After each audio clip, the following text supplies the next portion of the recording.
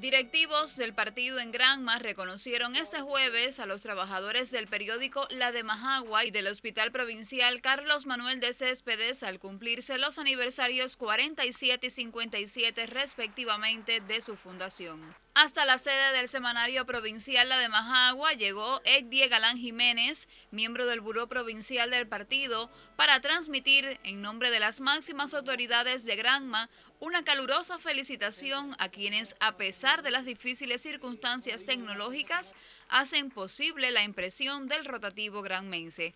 En el encuentro se destacó la valía de los trabajadores de la institución y el compromiso de seguir informando al pueblo. Ha sido, es y seguirá siendo el órgano oficial del Comité Provincial del Partido, identificado con la causa de la revolución y siempre al lado del pueblo, que es el fundamento, es la razón de ser del periódico. De igual forma, Tania María Heredia, miembro del Buró Provincial del Partido, reconoció la dirección del Hospital Provincial Carlos Manuel de Céspedes por mantenerse de forma altruista por más de cinco décadas al servicio de la salud del pueblo. Qué manera de, rendir tributo al nombre que llevamos de Carlos Manuel de, Céspedes, que fue un hombre eh, muy adelantado en sus tiempos. Entonces, eh, hoy, con este motivo, estamos reuniendo y celebrando este aniversario. El sectorial de la salud en la provincia se sumó a la felicitación de este colectivo de trabajadores que cada día apuesta por mejorar sus prestaciones y asistencia médica. Sendas instituciones granmenses que prestigian a la provincia y que fueron fundadas un día histórico para la nación. Rocío Rosales del Río, Sistema Informativo de la Televisión en Granma.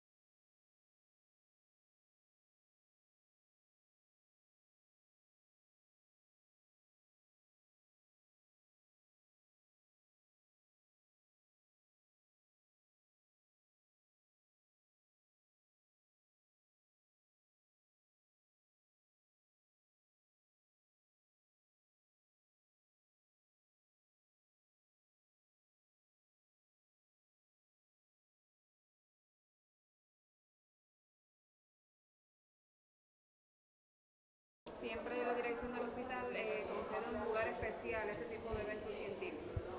Bien, eh, para nosotros, dentro de, los eventos que ocurren en el año, es el más importante. Le digo, es la reunión de la comunidad científica, de la academia, de la esencia, de donde salen los proyectos de investigación, donde se muestran resultados de ensayos clínicos, de, de investigaciones de tesis doctorales, de maestría, que tributan en mejor calidad de la docencia y de la asistencia médica para los pacientes.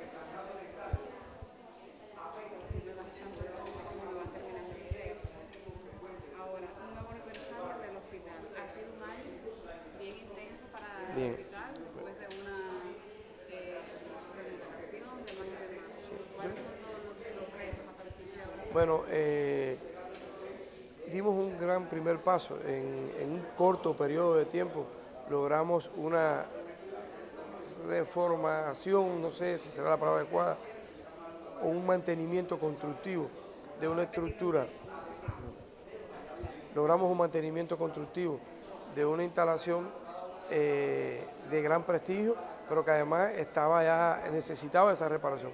Con el apoyo de las autoridades eh, políticas, partido, gobierno, Dirección Provincial de Salud, eh, diferentes organismos y empresas, logramos la, en, el en, en solamente 6, 7 meses prácticamente reparar 18 salas del hospital y mejorar con ellas el confort de los pacientes, que son la esencia nuestra, y de los, y de los trabajadores de nuestra institución. Ese es el primer paso.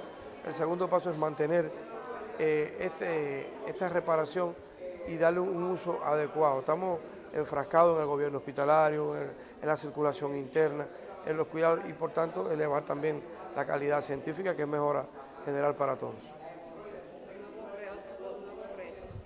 Bueno, nosotros no nos detenemos, nosotros en el plan director tenemos ahora eh, en el 2025, que ya se acerca, eh, planificado cuáles son las obras que, vamos a, finalizar, otras van a comenzar, por ejemplo, vamos a culminar, a culminar ya la reparación completa de la maternidad en el primer trimestre del año 25, comenzamos la, la,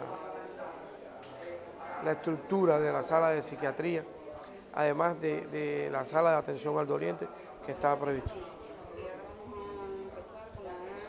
Ah, ah, bueno, en el 2025 tenemos el, en proyecto culminar la, reparación de la maternidad, que es una de las obras fundamentales para el año 2025, así como la atención al doliente, la, la construcción de la sala de psiquiatría, comenzar la sala de, de medicina interna que va estableciendo una secuencia constructiva, además de adecuar otros locales, soñando la posibilidad de una resonancia magnética nuclear para nuestra institución, que ya este año logramos el tomógrafo.